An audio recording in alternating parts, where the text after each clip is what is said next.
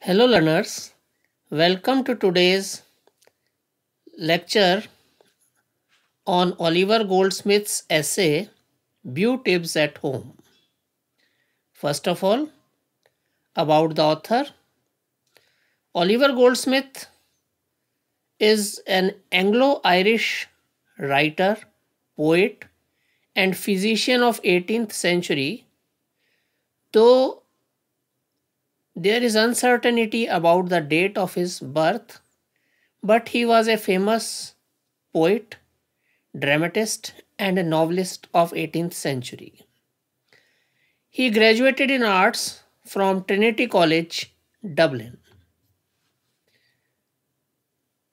He was a famous poet, dramatist, and novelist of 18th century and he was a multi-talented personality who has authored a famous poem the deserted village in 1770 who has written two plays the good natured man which was composed in 1766 and she stoops to conquer which was his famous and popular comedy that was composed in 1771 and he also authored a novel with the title The Vicar of Wakefield which was composed in 1766.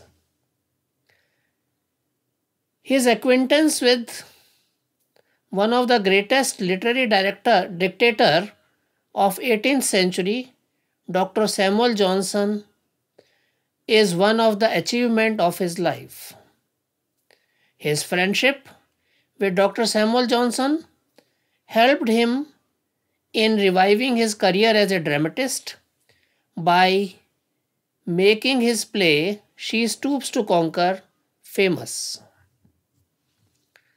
Coming to the essay, the main events of the essay Beau-Tibbs at Home are as follows.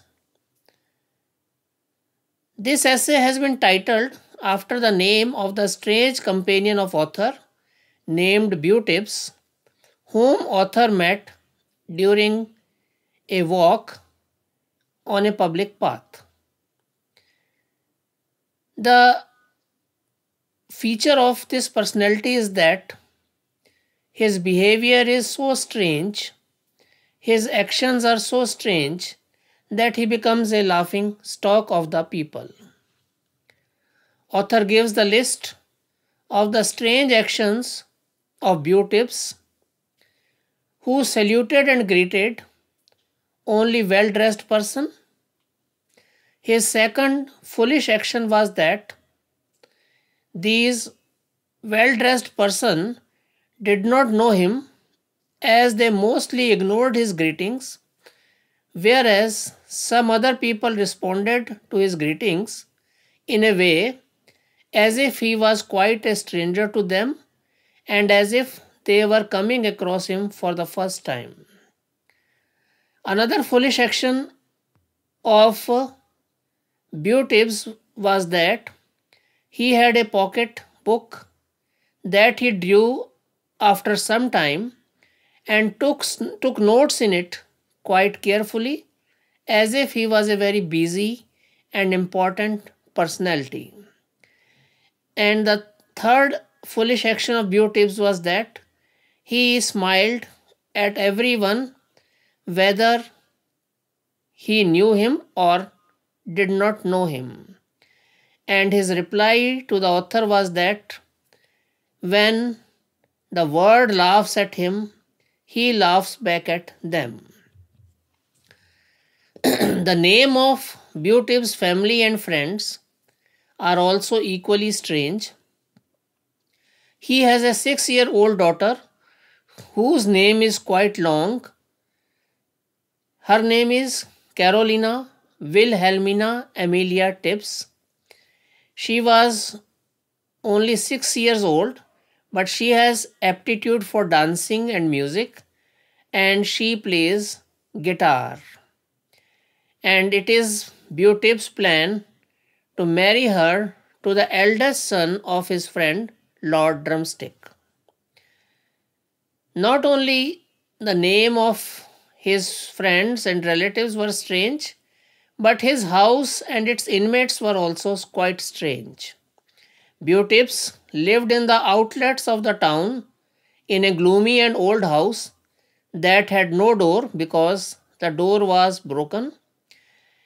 And he pretended to the author that he had chosen his residence for the benefit of fresh air and nature. And though he lived on the top floor of the house, but he called his house as the first floor beneath chimney. The inmates of his house included his wife, who was a weak, emaciated lady, and who was washing his shirt in neighbor's house when they approached the house, as the neighbors have taken a vow not to lend their tub to them anymore. The second inmate of the house is Beau Tibbs' maid, who is an old ugly Scotch lady with rough language and rude manners and Beau Tibbs says that he got this servant from a very influential and politically sound personality of Scotland. Though even Beau Tibbs criticized her rough manners and rough language. Beau Tibbs invites author for dinner at his house with his wife and daughter, but the discussion of the strange menu for dinner between this couple, like cheek of an ox, disgusts author so much that he takes permission to leave from his host and hostess. Before leaving their house, author observes some of the paintings that Beau Tibbs claims that he himself has tried to paint his own face. Now, author was so much fed up that he leaves the house pretending that he had some important work to do. Thanks and have a nice day.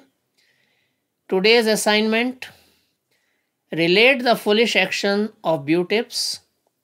Draw the picture of the inmates and house of Beau Tibbs. Give your responses to phone number 93141 Thank you for watching this video and have a nice day. Thank you.